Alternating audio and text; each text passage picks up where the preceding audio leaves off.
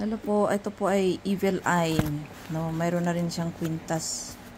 Maraming kwintas tayong pwedeng ano natin. Evil Eye Protection. Ito po ay basbasan ko rin po ito. Stainless na rin to mga people. Pili ka lang ng tatlong klase lang siya. Evil Eye Protection. No? Protection na rin yan.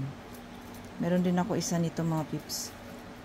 So, kung sinong may gusto ng ganito, evil eye protection, marami tayong mabibilhan ng ganito na evil eye sa mga paligid. Pero, yan ay walang buhay. Ito naman ay binabasbasan din po natin ito para sa protection at pampaswerte. Ang evil eye, pwede natin gamitin sa protection, tagabantay, at pwede rin natin gamitin ito sa pampaswerte. So, dalawang klase ang basbas na gagamitin ko dito.